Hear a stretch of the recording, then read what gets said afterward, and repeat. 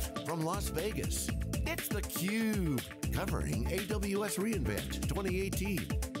Brought to you by Amazon Web Services, Intel, and their ecosystem partners. Uh, welcome back here at the Sands as we conclude our coverage here of day one of AWS reInvent. We've been live on theCUBE. We'll be back with you again on Wednesday and Thursday. But glad you're here with us uh, on Tuesday for our coverage, along with Justin Warren. I'm John Walls.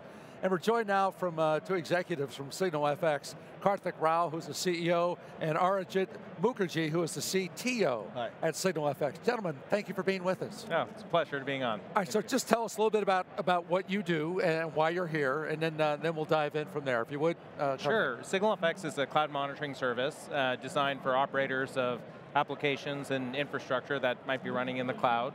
Uh, our origins uh, came out of Facebook, so Arijit and much of our technical team were responsible for building the monitoring systems at Facebook uh, back in the, the mid-2000s when they had their famous move fast and break things culture, Right. which today everyone calls DevOps.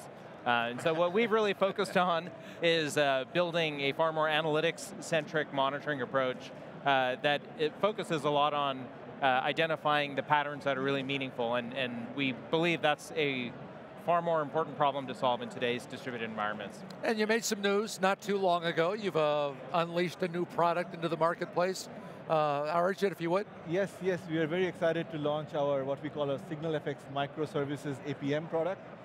And it's really aimed at uh, giving customers visibility into the transaction flow that's happening in their microservices environment. As you know, like, we are moving to microservices, the individual pieces are becoming smaller, and they're growing in number, and so the complexity of those interactions is becoming harder and harder to manage. And this product is aimed basically to help our customers make sense of those and, and, and monitor them effectively. Yeah, a theme that's come up a couple of times today on theCUBE is that uh, the complexity of the modern way of doing things in cloud native services, microservices, it's beyond human comprehension. That is you exactly need right. to have the assistance of tools like, like APM. And I, th I think we were talking just before we, we went live that this is a distributed tracing type approach to microservices. Is that, is that correct? That is correct. So the goal is to have a lightweight approach where you can very easily generate uh, spans and traces from all your microservices, the whole environment. And the value that we provide is sort of to take them, uh, baseline them to give you a sense of how performance is happening overall in the environment.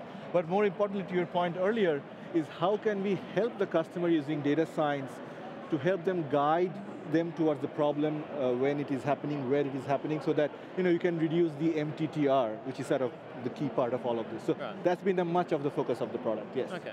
So for, for customers who are looking to, to re-platform onto microservices or some of these newer ways of doing things, what is it about SignalFX that, that helps them to, to understand how to change an application from one way of doing things, you know, monolithic type application, into something more microservices driven? How does, how does SignalFX actually help them with that journey?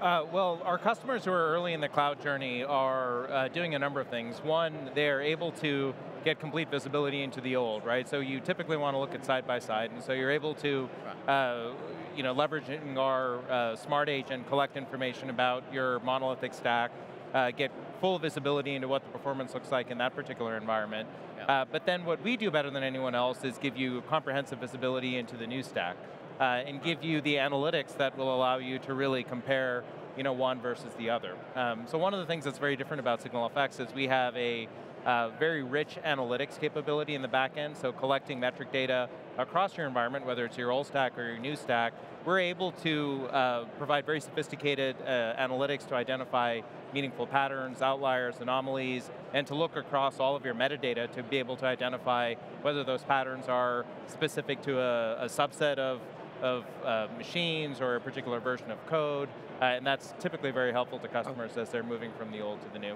Yeah, can you give me an example then? I mean, in terms of um, the specificity that you've provided, you talk about sophisticated uh, measurements or stats, just something that would tell us, oh, I see, that, that was kind of an aha moment maybe for one of your uh, customers. Yeah, so the, the thing that uh, is unique about us is uh, that because we have a strong metrics product that's backing this, because we have a strong analytics capability that's backing this, when we do distributed tracing, we are tracing and providing you insight not only into your application, like what it is doing, we are actually able to correlate that with also with your infrastructure. So let's say your application is running in a container, if there is a problem, we can actually let you correlate that application and the performance of that to the container, to the host, to the infrastructure, top down as well as sort of left right, so to speak. And that has been sort of key because what we find is having that capability really helps sort of short circuit the, the resolution time because a lot of times the problem may be vertical, other times it may be broad, like horizontal, right? So our goal is to catch both of them. Okay, yeah. so you're able to identify the root cause of an issue much, much quicker. So teams can go and find that server's failing. I need to go and replace a piece of hardware, yeah. or there's a storage issue, and you can just dial it straight in really quickly. Is that is that? Yes, well, just, yeah, sorry, just to uh, you know, in modern environments, you're far more likely to see. Uh, performance issues in a small subset of, of your transactions than you are to see just a massive outage, right? A lot yeah. of modern distributed systems are designed to be resilient to individual node failures, for example. Uh, and a feature that we just uh, launched along with our microservices APM is something called Outlier Analyzer. So let's say all your metrics indicate the service is performing fine, but you have 0.5% of your users complaining that the performance is terrible. Uh, that's where tracing really helps, because now you can look at every transaction, you can understand exactly where you know, things might be slow. Yep. But it's typically a trial and error process. You have to go through every single trace, you have to sort of figure out, is it a particular version of code, a particular server, our outlier analyzer feature will automatically look through all of the outliers, identify the overrepresented dimensions, and guide you to those specific problematic areas, right? right? So you run our outlier analyzer, it'll tell you, you know, this particular machine is overrepresented in your long tail traces, yeah. or this particular version of code is overrepresented. So it short circuits the entire troubleshooting process by orders of magnitude. Yeah, that, that kind of intermittent error is always really, really hard to find. Something that's which right. just explodes yeah. and, on, and, catches on fire, that's easy to find. And it's extremely difficult for a human to find it by trial and error across a distributed system that could involve thousands of components, right? So you really, really have to leverage analytics, and that's really what SignalFX is incredibly strong at doing. Yeah, so we're basically replacing luck with tools. Yep. Trial and error and luck with a more prescriptive troubleshooting. Yeah. So for, for customers who've gone through this journey and they've, they've actually re-platformed an application, they've, they've converted it into microservices and they're doing cloud native things, and you've helped some of these customers. What's, what's an example of a customer who's living in that new world? Who, what's, the, what's the view like from where they're sitting, where they have all these lovely tools and they, they're not relying on luck anymore? What, what's their sort of daily life like?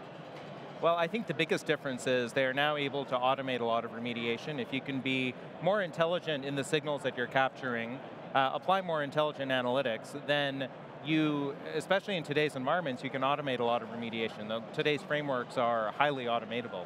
Uh, and so one example of this, we have one of our larger Fortune 500 accounts, they do uh, a number of launches, product launches, where they get massive amounts of load during a product launch. And this is not atypical in today's environments. Yeah. Um, and prior to having the, the real-time uh, data collection and analysis with SignalFX, they would have two rooms full of people supporting every single launch, right. uh, and very reactively, you know, and something would go wrong, they would have to go and figure out what was happening. Yeah. With SignalFX, they're now able to build very sophisticated analyses on the data as they're spinning up containers and instances to support a shoe launch.